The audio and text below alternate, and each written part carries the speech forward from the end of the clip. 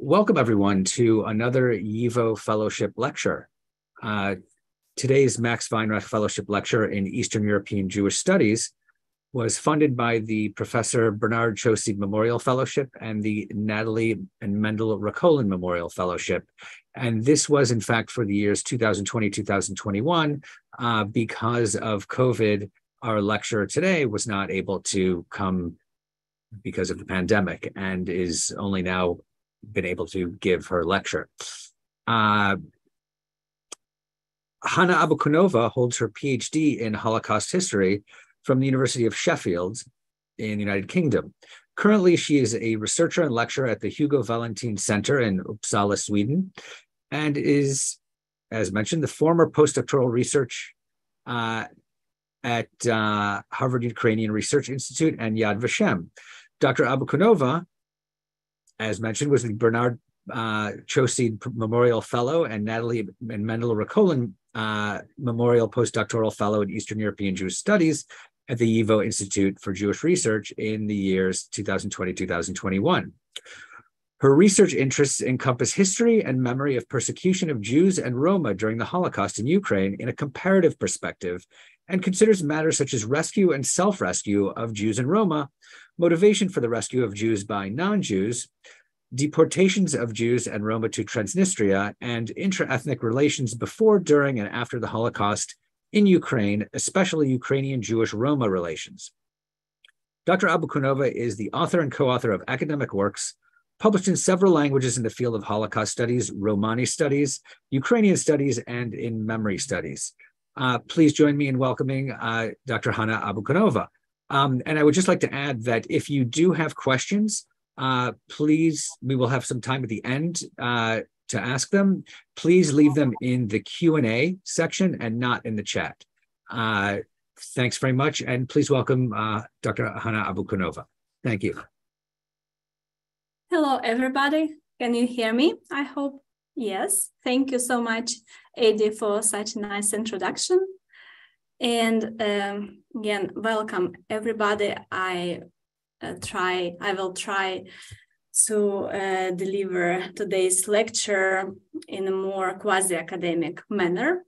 Uh, that it would be interesting for non-specialists uh, who really don't know much about Ukraine and also for specialists who uh, research uh, Ukraine and the Holocaust.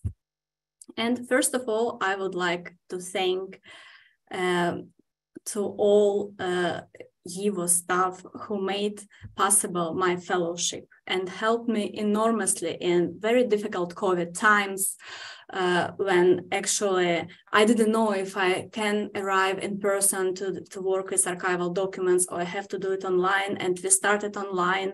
Then uh, there was a possibility to arrive just uh, two days per week.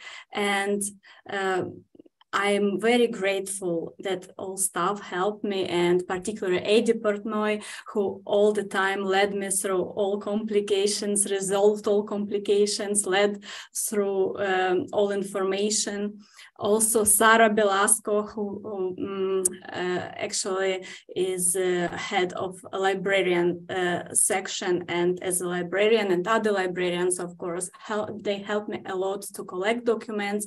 And also, uh, I'm thankful for their patience because I always was late to give documents back.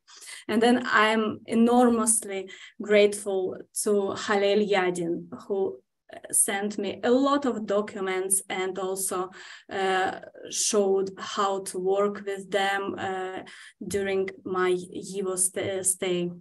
And of course, another uh, archivist, Vital Zajka, who prepared a lot of photographs, maps, and, and I could access all of them in a very short time.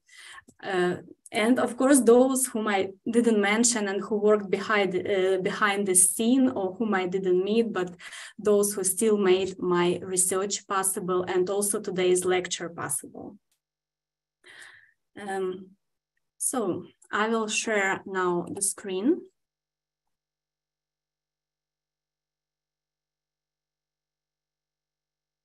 Okay. Hope you can see it do you see the screen, right? Eddie? Yeah. Uh, So, uh, my today's lecture uh, is entitled Ukrainian Jewish Relations on the Eve and During the Holocaust. And in fact, I will not talk only uh, about the very eve, but also about inter uh, interethnic relations in interwar uh, period. And um, it's a very interesting uh, story that when I started to research motivation for rescuing and also denunciation of uh, the Jews by Ukrainians in Ukraine, in so in occupied Soviet Ukraine, I didn't think that I will come to uh, research of interethnic relations in interwar period, and particularly kolkhoz system. But uh, now I will show you how it is connected. So the first part of my lecture will be about the kolkhoz system and uh, actually relations between Ukrainians and Jews in 1920s and 1930s. And then I will come to the second part, actually the Holocaust uh, uh, time, and I will discuss reasons uh, for denunciation of the Jews and also for rescuing Jews by non-Jews which the, and the reason, as I said, connected to the interwar and even previous time, uh, Russian imperial time. I would start uh, with a person named Joseph Rosen, and uh, I will start with the point that uh, almost 80% of the time I work uh, of my YIVO fellowship, I worked on archives um, of uh, Joseph Rosen and collection of documents of AgroJoint. Uh, Joseph Rosen was born in Moscow and uh, he studied uh, at Moscow University. Uh, then um, he was a member of uh, Russian Social Democratic Labor Party within the Menshevik fraction. However, at certain period of time, he migrated to the US, particularly in 1903, so in uh, quite young age. Uh, in the US, he worked in agriculture for two years and then continued his education at Michigan Agricultural College, where he received his degree, MA degree. And after that, he received another degree, PhD, uh, from the University uh, of Minnesota. And his idea was to develop agriculture in a former pale of settlement in order to help the Jews to survive uh, in uh, hunger years and generally to survive and uh, come over the um, poverty because the life for uh, most of the Jews um, in the Soviet Union was not so nice. They lived in poverty, they lived in villages, so in shtetls, uh, special um, towns where about 40, 50%, sometimes 80% population consisted of the Jews. And what what Jews did in um, those uh, towns and villages, uh, they had some uh, trading. They uh, uh, worked um, as um, some specialists like shoemaking, uh, tailor. there were tailors, and um, some of them were a little bit richer and worked on jewelries um, again, exchange, selling, production, making. Uh, but majority actually uh, lived in, as I said, in poverty. Um, so experiencing uh, such life and um, also knowing about uh, the pogroms which uh, occurred uh, mainly in 1918, 1921 during the civil war um, uh, in former Russian Empire. After in 1918, the Russian Empire collapsed. Um, Rosen uh, decided to join, uh, actually the joint um, uh, and American Relief Administration, administration which helped the Jews to survive uh, pogroms and then also um, the consequences of pogroms, I mean, and also uh, hunger uh, years, 1921 to um, up to 23 uh, when the first hunger occurred in former Russian imperial lands.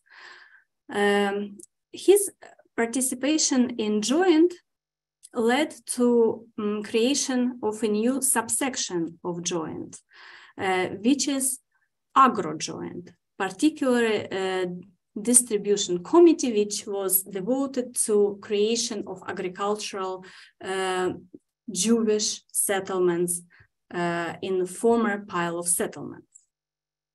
And uh, Rosen started to investigate how it's possible to do.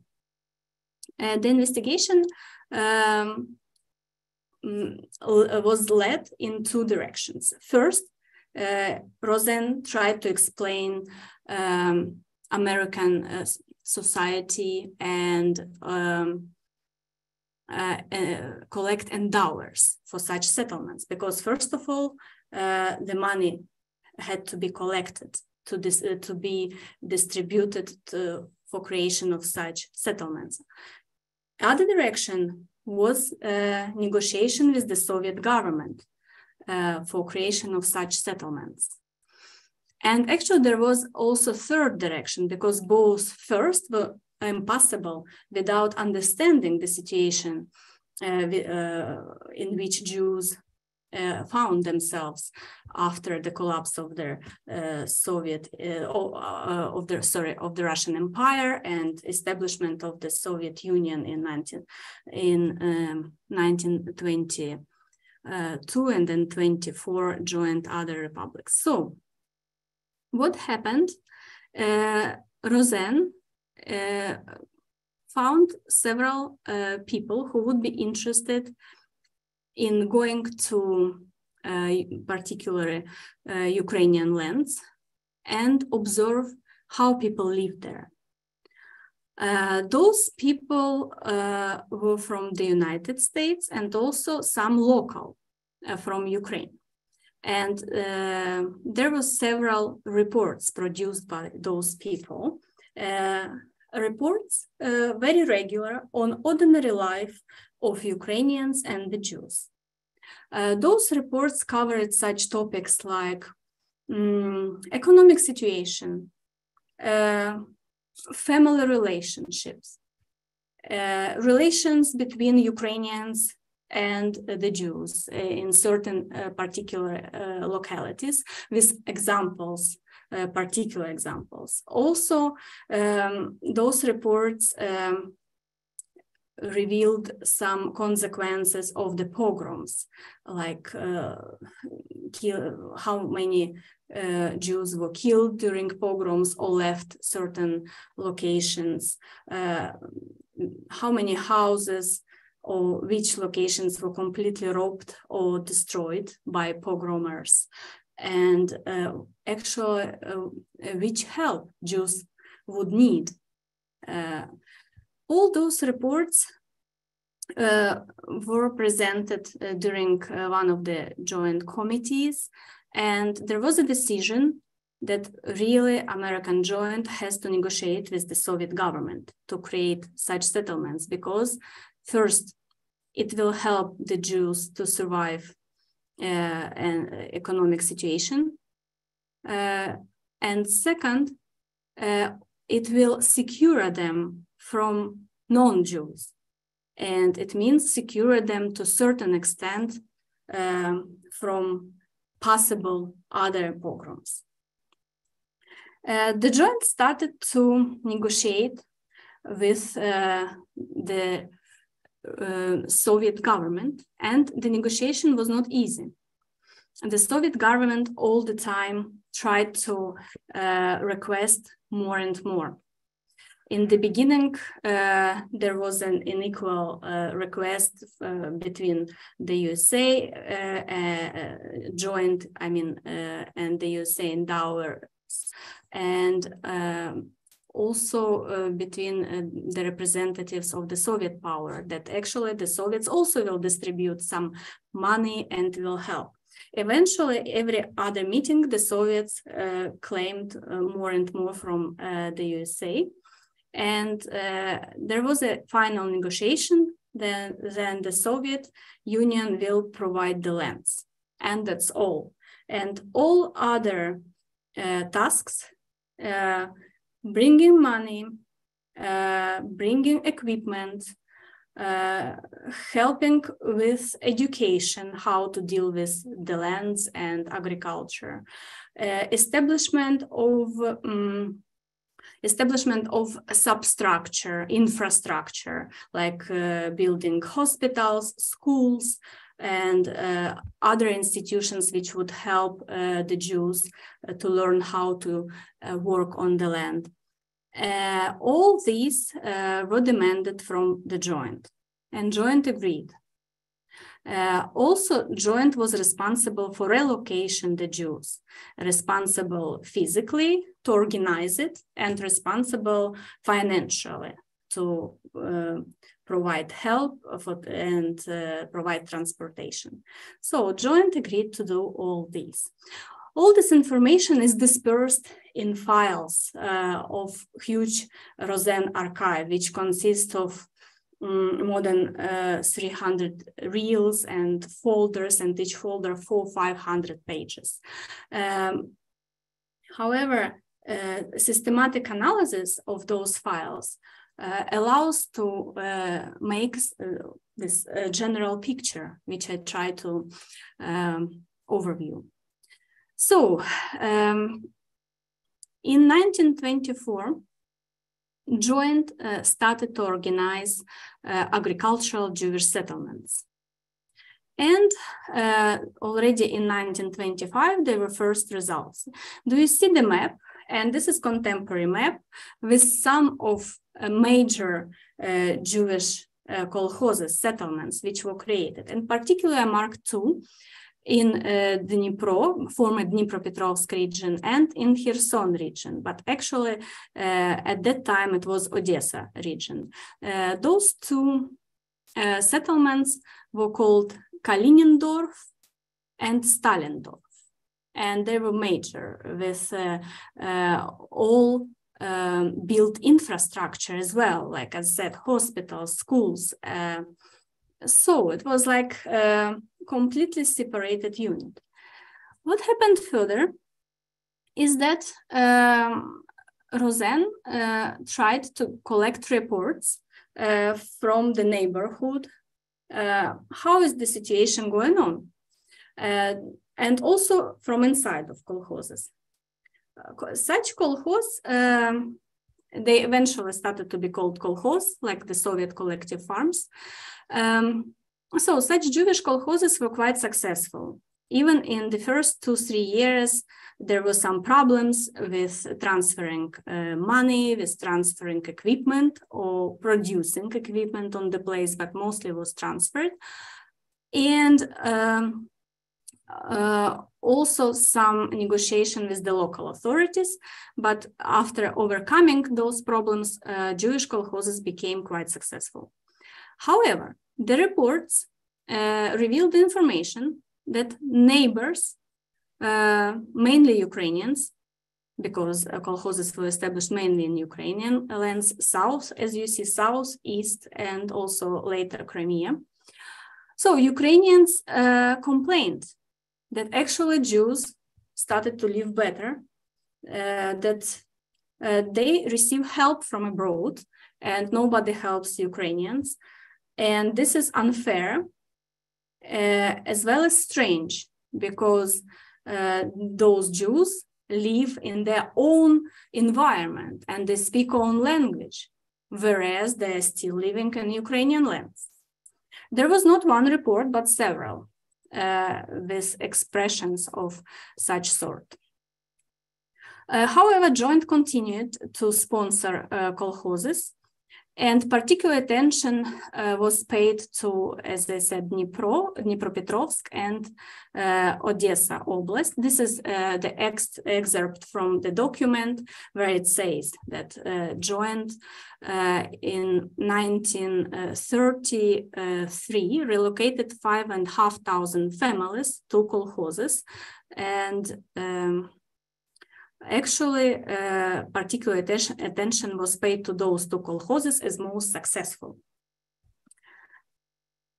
So another uh, uh, historical event, uh, infamous event, happened in 1932-33. Uh, Stalin government organized um, man-made uh, famine, uh, which is uh, known in Ukrainian history as Holodomor.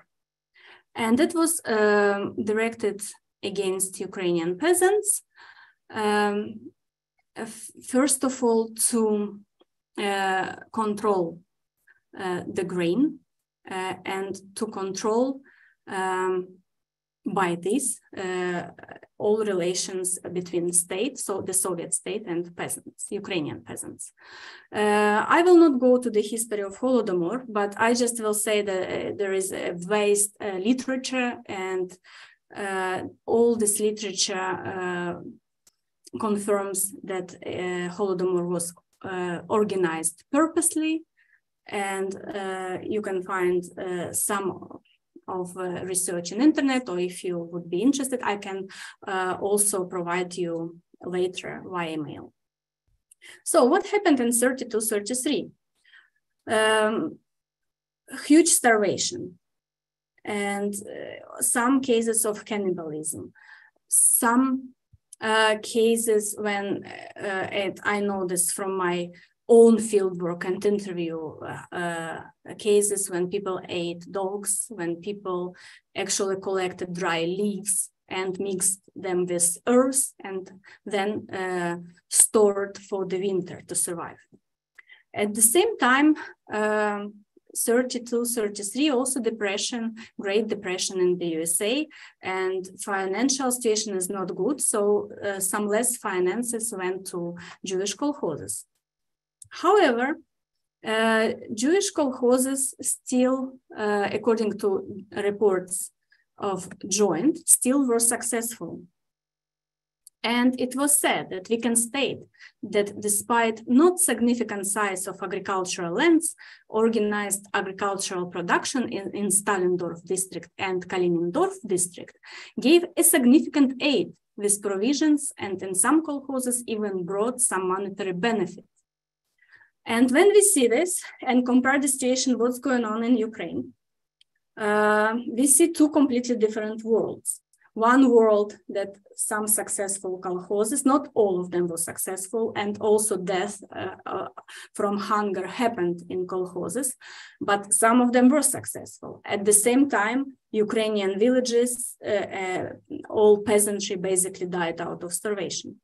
And some reports after uh, 33, the reports of 34, 35 uh, contain some information about uh, the Holodomor and that Ukrainians actually uh, started to have even more anti-Semitic uh, feelings because uh, in some villages they saw that Jews survived the Holodomor better.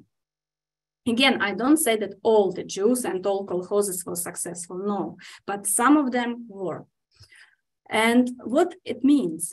It means that uh, there was a huge wave of new anti-Semitic um, um, feelings and attitudes to the Jews.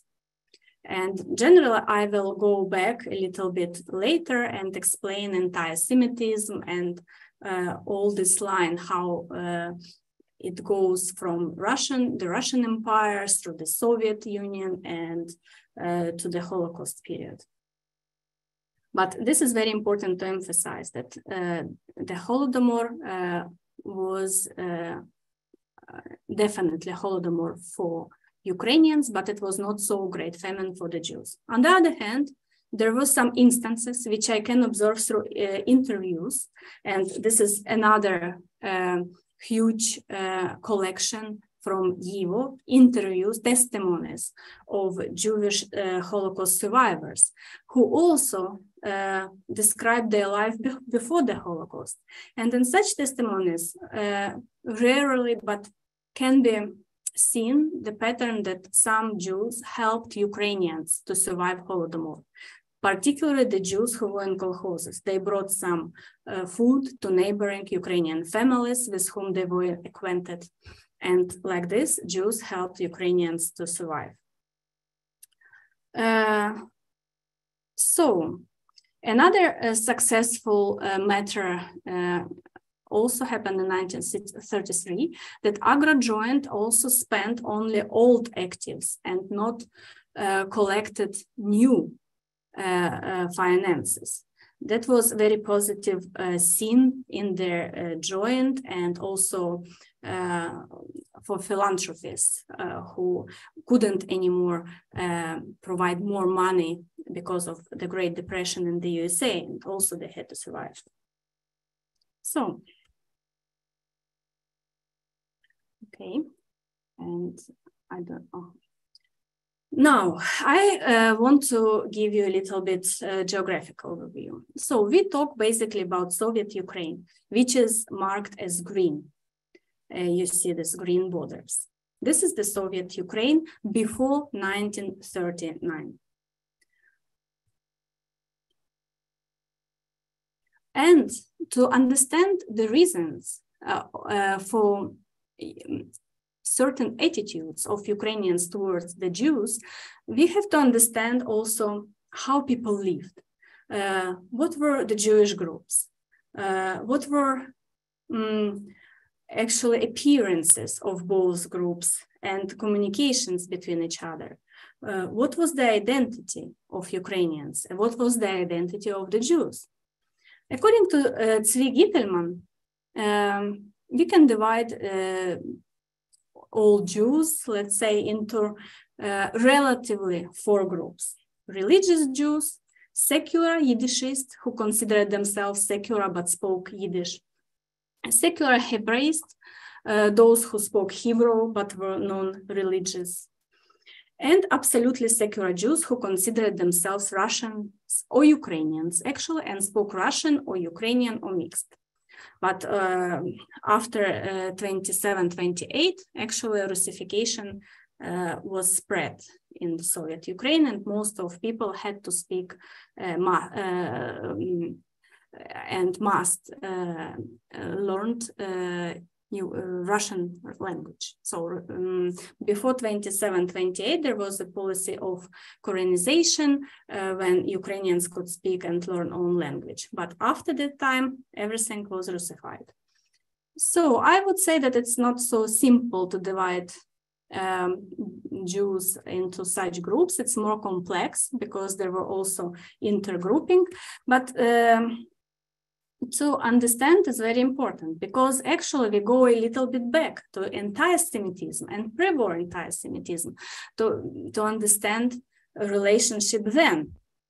And uh, we know about the pogroms in Kishinev and uh, Odessa, uh, terrible pogroms which were mostly uh, targeted um, against uh, religious Jews or Jews who observed some traditions.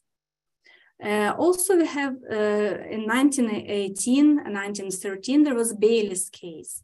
The case um, when uh, Menachem Beilis, Ukrainian Jew, religious Jew, was accused in killing innocent Ukrainian boy.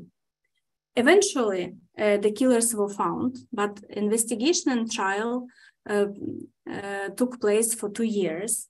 And uh, despite the fact that Beilis was freed and um, killers uh, of this boy were found and imprisoned still and this anti-semitic uh, attitude to jews uh, spread more just because of information of of such possibility. And accusation why Beilis killed the, the innocent Ukrainian boy was obvious. For uh, as usual, it's a blood feud to use the blood of uh, innocent uh, non-Jewish children uh, for uh, preparing matzah, uh, Jewish traditional um, some sort, I would say, of bread for for Passover. And this blood feud we can see in history in all countries in different periods. It was not something new for Ukraine. However, interwar anti-Semitism, 1821, more than one and a half thousand pogroms. And actually, recently, Jeffrey Veidlinger uh, published a book about pogroms with very precise uh, look into some of them. So, what happened during those pogroms? Uh, more than 200,000 Jews were wounded, according to some research, and unknown number of women raped, Jewish women. And also, according again to different research, between 100 and 200,000 Jews were killed. It's a huge number. And uh, we don't talk here about looted property, destroyed houses, completely destroyed that people couldn't, the Jewish people couldn't live. And um, actually, uh, um, I would like to give you one citation from um, a witness from the town of Peshchana, Odessa governorate in late 19, early 20. There are about 70 tombs of Jews in our cemetery who were brutally murdered by bandits. This is without counting those who, uh, who uh, disappeared and was not found until now. There are villages in neighborhood where the Jews lived since olden times. Many of those Jews were killed and others resettled, in the town, but they are in danger of death here as well because the entire gang is consisted of local and neighboring peasants. These peasants are in hiding by others and it is too difficult to catch them. Uh, the pogroms uh, continued and uh, one of the very main uh, pogroms occurred in Proskuriv, uh, which is called Proskuriv pogrom, but actually now it is town, city of Khmelnytsky.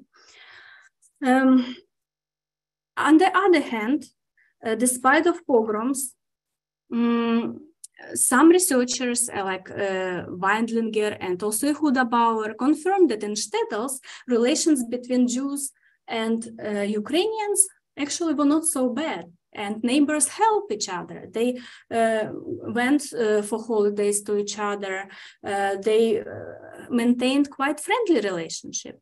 So how this happened? And here um, we see a double relationship. On the one hand traditional anti-semitism on the other hand quite nice relationship. Um, when uh, the germans uh, arrived they needed to also identify the Jews. And here we go actually again to 20s and 30s. And we have to understand what was the identity of the Jews, how they could um, appear different to Ukrainians and also to the German Nazis.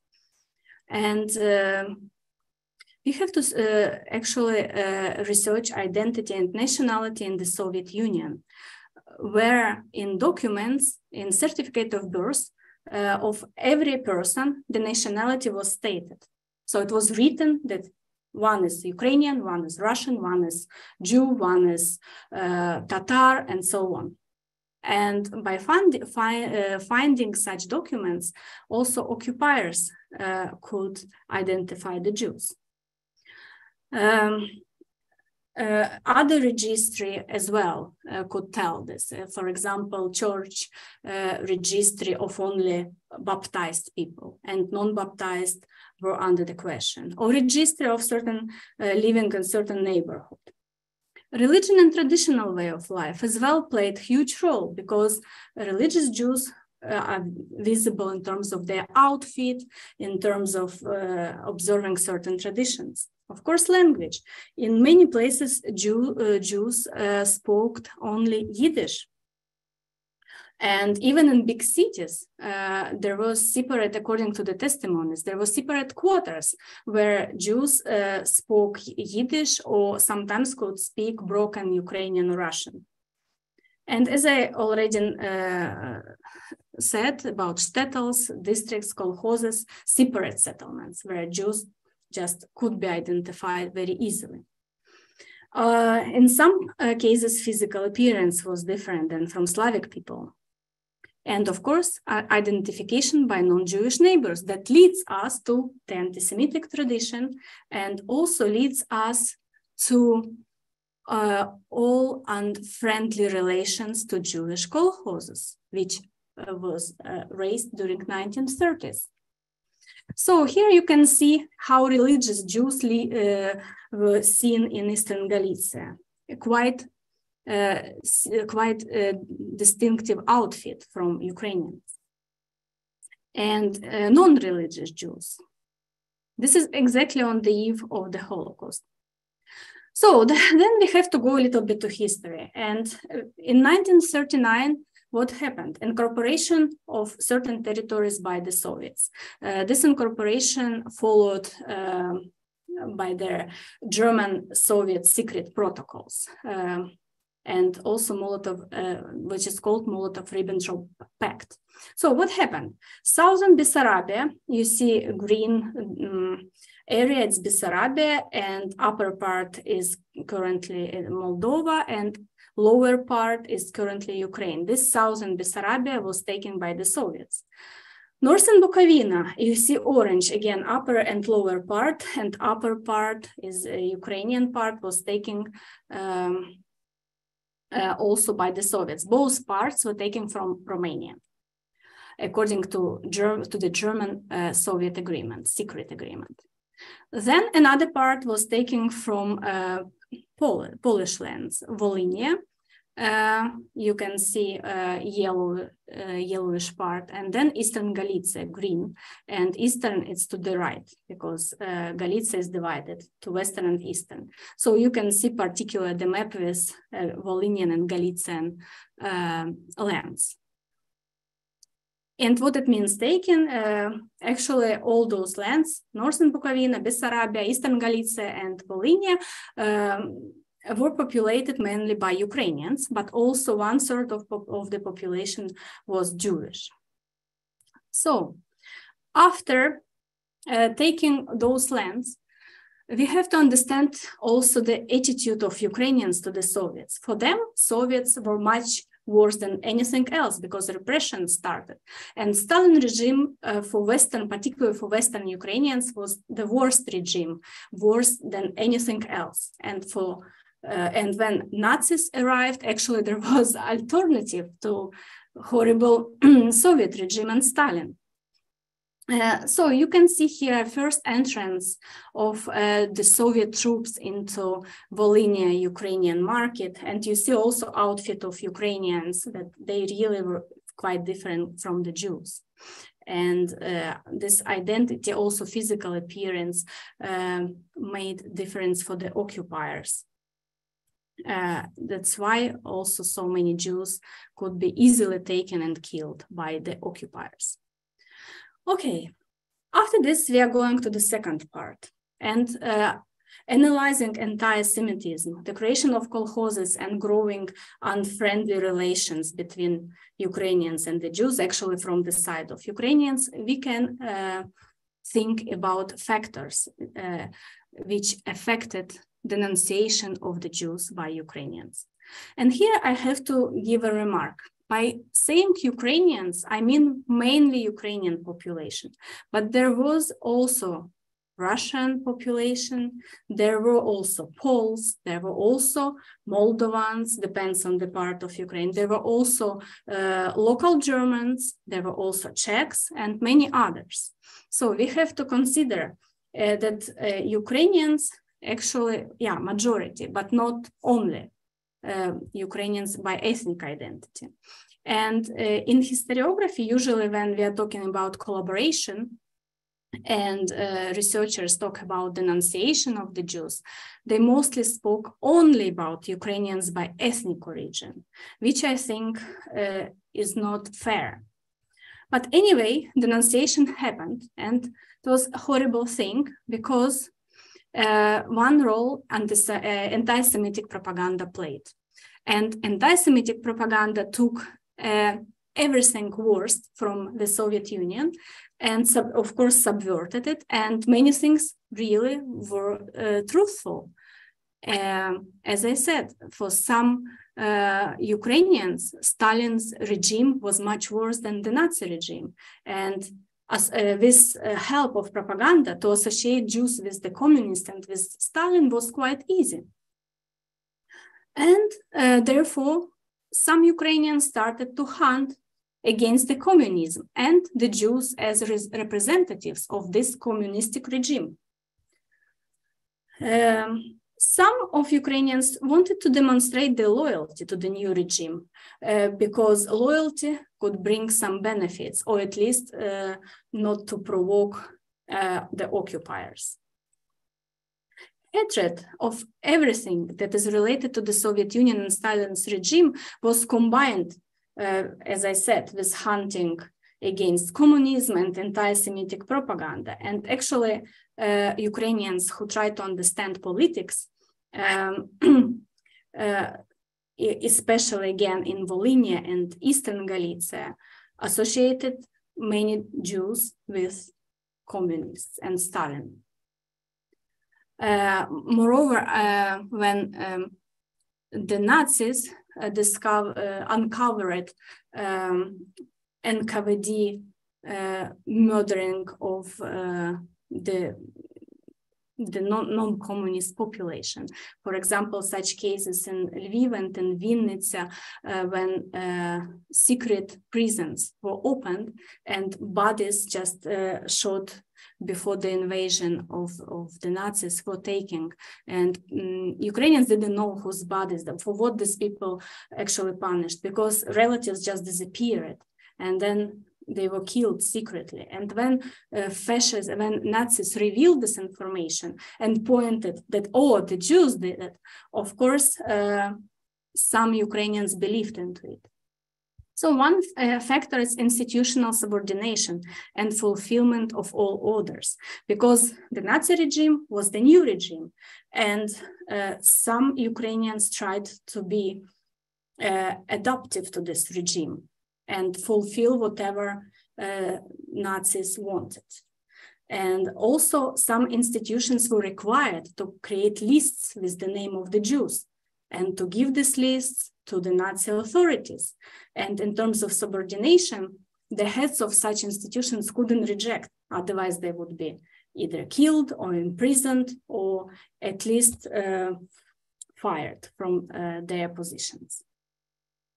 Uh, of course, one of the factor was again connected to the blood feud, and uh, that's why I mentioned the Beilis case in uh, during the Russian Empire imperial time. It's uh, the slogan "Jews crucified Jesus" and traditional anti-Semitism uh, on everyday life level. Encouragement by occupiers.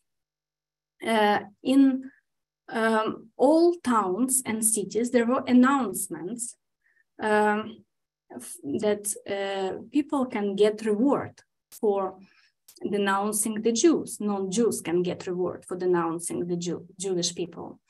And um, this encouragement could be promotion uh, and giving certain position, verbal award that sometimes satisfied certain people, but uh, mostly reward system implemented by the occupiers. And this reward system was very interesting because it existed not only on Ukrainian occupied lands, but also on Belarusian. And uh, it very much varied. In some um, locations, um, the reward was just a bottle of vodka. In some uh, locations could be a bar of soap and tobacco, and in some real money and not bad money. Uh, also the possibility to loot clothes, food, furniture, jewelries, whatever to loot if Jews are denounced. And the, the possibility to take flat or hut if Jews are denounced and killed, then Ukrainians could take, and there were many cases and testimonies, we can see them. So, for example, one of the testimonies from the YIVO archive, which is uh, written in 1946 and uh, is called Ways of Death, uh, is about Odessa, uh, south of Ukraine. And here, uh, a person who wrote it, uh, Holocaust Jewish survivor, said that once one guy arrived from nowhere and uh, started to complain that uh, my neighbors don't allow me to enter my flat. uh, all my property was taken by the neighbors and I don't have where to sleep. I don't have what to eat. And uh, the author of this testimony asked, okay, where you have been before? And uh, this person, apparently also a Jew, said, I was in Bohdanovka, and Bohdanivka is a huge place for killing the Jews uh, uh, near the river Bug. And somehow this Jewish uh, uh person uh, escaped, arrived to Odessa, and couldn't find anything own. Everything was taken by the neighbors. But Another case of even worse, real denunciation, testimony of Manya Gailer from Vinnytsia region, Reichskommissariat, Ukraine. Uh, one uh, woman heard that uh, for denunciation of the Jews, common, common, common commandatur, German commandatur, paid 100 rubles. And uh, she knew Jewish family consist of 16 people. She arrived to, do, uh, to that family and said, come to me, I will hide you, because if Germans will arrive, they will not find you.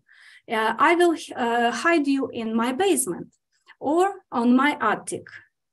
And uh, uh, Germans will not find you. So you have to collect all your stuff and come to me immediately. The Jewish family listened to this. They collected everything possible and they arrived to this woman. This woman really hid the Jewish family of 16 people. And also she asked money for hiding and uh, some clothes. Uh, she hid for several days. And after several days, she arrived to the Germans and denounced, and the entire family. So the entire family was taken and killed. Uh, other reasons were like taking revenge uh, when uh, during, uh, sorry, before the Holocaust, uh, during personal relationship, uh, some people had very unfriendly relations. And the Holocaust actually, the occupation uh, by Nazis actually opened the way to take this revenge. So there was completely personal reason to denounce the Jews. Envy uh, for anything, for a uh, position which Jews occupied before the war, for better life, uh, for better family, for anything. Pre-war scandals on friendly relations and uselessness of the Jews. In one of the testimonies, I found the case when a Ukrainian family asked Jewish doctor um, to arrive and uh, uh, to heal a person. Actually, uh, a woman had to give birth and uh, needed midwife, and then some complications started. The Jewish doctor helped and uh, arrived couple of uh, days was taken from the ghetto by bribing arrived and um, actually in uh, within several days, the Ukrainian woman was okay. She was completely healed. After this, relatives of this Ukrainian uh, woman denounced this Jew and um, not only he had to return to the ghetto, but immediately he was killed. So they accused this doctor that uh, he stole some things from them.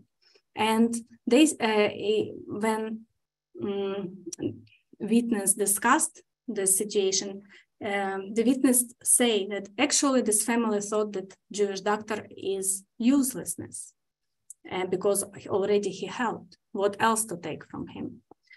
And of course, pre-war experience of kolkhozes. We shouldn't forget that some Ukrainians couldn't uh, excuse Jews for better survival. In most cases, there was a combination of factors. And here I come, um, I almost finish, I need five more minutes uh, to also discuss um, the factors for rescuing the Jews. And here you see the map of Ukraine. Uh, the pink part is Reichskommissariat Ukraine, um, which was occupied by the Germans controlled by the Germans. Uh, orange part was district of Galicia, also controlled by the Germans. Uh, bluish turquoise part is military administrative zone controlled by the Germans, Wehrmacht. And yellow part Transnistria governorate, uh, which was occupied by Romanians. Uh, green part was under Hungary. Uh, why we need this map? Because when I analyzed factors for denunciation of the Jews, I found the same factors uh, across the entire Ukraine.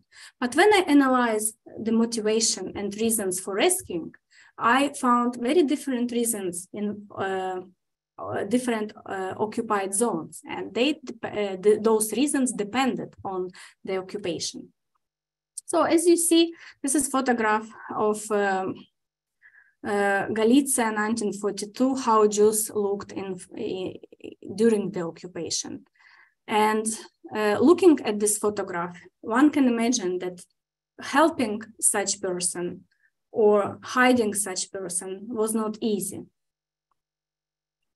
And why it's not easy? Because it would, would be obvious that person is a Jewish. We, we see bandage uh, um, with Magen David star. Also, we see uh, outfit very poor, and uh, you have to risk uh, to hide or to help such person and why you have to risk here we come to other reasons which affected helping and rescue of jews by ukrainians and one of the reasons was fear warning from the occupiers. And now the announcements were everywhere. Don't protect don't help the jews. Because if you do it you will be punished for sheltering or any help. And uh, here we come to the key point. The punishment was different. Um, on Romanian occupied zone, the punishment was uh, mostly huge fines or servitude labor up to three years, sometimes combined. In all occupied German territories, the punishment was always death uh, for helper, uh, sometimes with and the entire family, including children and elder. That's why not so many people really wanted to help the Jews. Uh, very much help de depended on location, rural or urban, because in urban location to hide someone uh, was very difficult, to hide that others wouldn't know, that it wouldn't be visible, because hiding meant also feeding and uh, also um, providing um, sometimes medications and uh, fulfillment fulfillment of other acts connected to human being yeah? Uh, and unfortunately not everyone could do it. In rural area it was quite easier to do um, climate. Of course in winter it was not easy to hide jews in basements where it was extremely cold. And uh, hiding was much easier in warmer time Topography. Uh, obviously, if one lives in, in the area of mountains or forests, it was much easier to create a dugout to, for hiding. Um, uh, if someone lives in the plain field, or again, as I say, in urban area, it's uh, not easy to create something invisible without risking for your own life material situation of helpers. Not everyone could afford to provide food if they uh, wanted to help Jews. And uh, as a major help, of course, hiding for several weeks, months, and sometimes years required providing this food.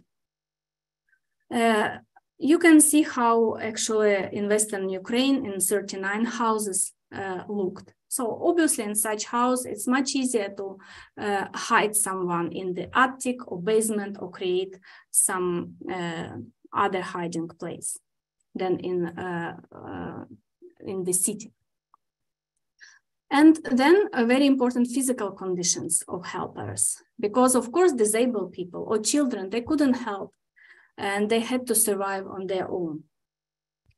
Uh, motivation and psychological factors. And I think, uh, according to my research, um, based on the testimonies, uh, it's the most important part because uh, momentary emotions played a huge role in making decision to help.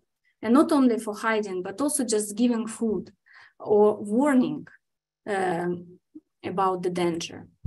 And of course, long, long-term feelings like uh, respect or love uh, could make very big difference in making decision to help.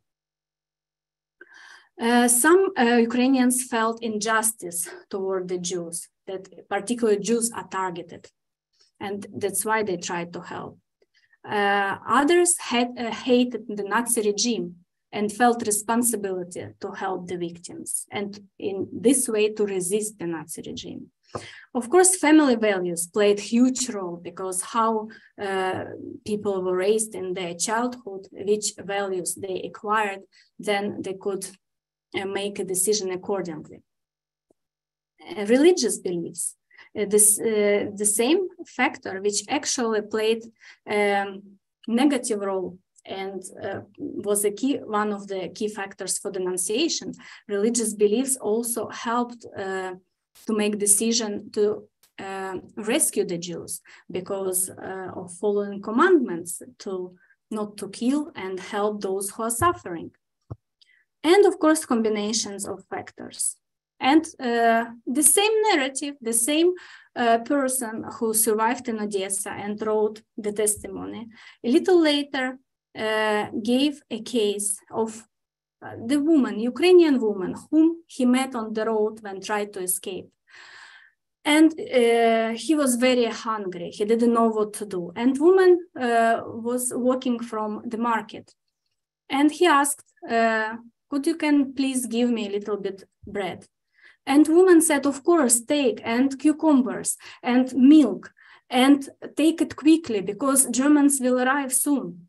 Uh, this woman uh, was a peasant. And uh, she said that she has uh, also uh, some back to, and um, the Jewish person who wrote this testimony said that I hid cucumbers into that bag and also I ate immediately milk with bread. And he said, Thank you, I will never forget this. And this kind woman just left. And apparently, she saved uh, the Jewish guy, uh, the Jewish survivor who wrote this testimony from starvation and from death out of starvation. The same, exactly same uh, testimony of Manya Gayler, which uh, only a couple of minutes ago I gave as example of denunciation, uh, brings in a couple of pages another example. Example um, how uh, one uh, family allowed uh, Jew, uh, the Jew um, to hide. And uh, they gave him vodka and then started to ask from where this Jew arrived. So he was he was not friend, he was just random person. And the, then, uh, according to her testimonies, uh, this Jew said that this family uh, gave me clothes, uh, I could wash myself, and then they kept uh, him until he was connected to partisans. And uh, Manya Gayler in the end says that she knows the story from actually the survivor. So, as a conclusions, I want to say uh, that uh, again, when we're talking about rescue, we also don't say that only Ukrainians rescued. And again, I should say that there were Czech villages which uh, rescued Jews. There were Polish uh, people, Russian people, Romanian, uh, and many others who also helped. And this is very important uh, to understand that in both cases, in case of rescue and in case of denunciation, uh, not only Ukrainians helped, but majority was Ukrainians. So main reasons for both denunciation and helping, actually political reasons, if we can generalize them, also social reasons, religious reasons, and of course, most important economic and personal reasons. Personal reasons played more role for rescuing, economic more for denunciation. And uh, in the end, I would like to say that we should, uh, as researchers, we should look to balance, to balance narratives. And when we research rescue and uh, we bring all cases, we shouldn't forget that there were cases of anti-Semitism and denunciation and other way around, research and killing of the Jews and denunciation. We should remember that there were many Ukrainians who saved uh, the Jews by risking their own lives. And thank you very much for your attention. And sorry for taking a little bit longer time. Uh, thank you so much, Hanna. That was really quite interesting. It's really a, a very broad, uh, complicated topic, uh, and I think you dealt with it well. Um, you know, unfortunately, we we we've already gone over the the amount of time, but I think we could take we should take a couple of questions. Um, one of them is so someone asks uh, if the Jewish population in the Ukraine uh, outside of the kolkhozi were were uh, affected by the Holom, Holodomor, uh, or Holodomor. Uh, is that you know what, what can you say about that? Yes, I should say uh, that I didn't study this topic very precisely yet, because actually what Yivo gave me is discovering of this topic of kolkhozes in relations to Ukrainian Jewish attitudes to each other before uh, the war. And uh, I know only from a couple of testimonies this, that yes, Jews who were not in kolkhozes uh, were affected, but I cannot say uh, in to what extent, uh, and I cannot say how many. Right. But there are there are testimonies that they were affected. Right.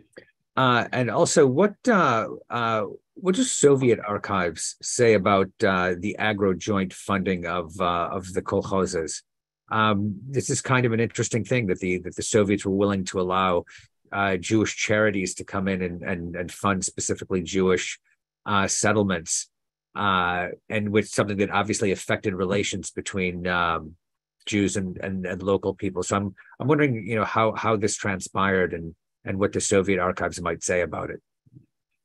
Um, I uh, particularly worked with Ukrainian archives, uh, where most of documents which I could see were related to Holodomor and of course to Ukrainians.